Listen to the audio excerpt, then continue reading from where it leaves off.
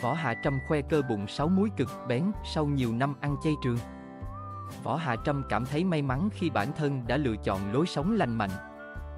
Mới đây trên trang cá nhân, Võ Hạ Trâm đã tự hào khoe thành quả sau nhiều tháng ngày tập luyện chăm chỉ. Cô chia sẻ thêm về lối sống lành mạnh, khoa học của bản thân, đẹp hay xấu, khỏe hay yếu. Tất cả đều là sự lựa chọn. Và nếu được chọn, hãy chọn yêu sức khỏe, bản thân mình nhiều hơn. Vì từ đó mình mới có thể chăm sóc cho những người xung quanh một cách tốt nhất.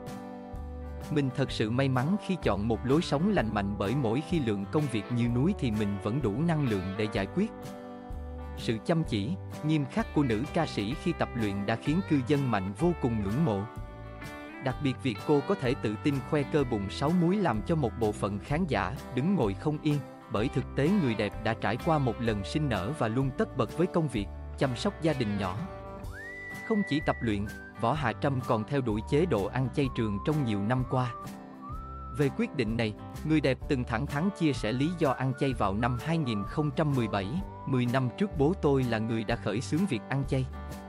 Lúc mới bắt đầu ăn tôi cũng gặp nhiều khó khăn vì ăn chay rất nhanh đói nhưng giờ thì đã thành một thói quen. Một năm trước bố tôi chính thức xuất gia càng khiến tôi có thêm động lực và gắn bó với việc ăn chay. Hiện tại nữ ca sĩ đang nuôi con gái theo phương pháp ăn chay. Dù từng nhiều lần gây tranh cãi bởi có ý kiến cho rằng, việc người đẹp để con ăn chay có thể khiến nhóc tỳ thiếu dinh dưỡng. Tuy nhiên Võ Hạ Trâm khẳng định bản thân vẫn biết cách cân bằng dưỡng chất để đảm bảo con gái lớn lên khỏe mạnh.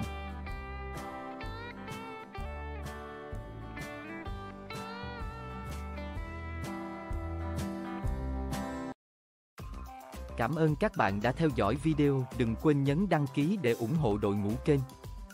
Hẹn gặp lại trong các video trước theo.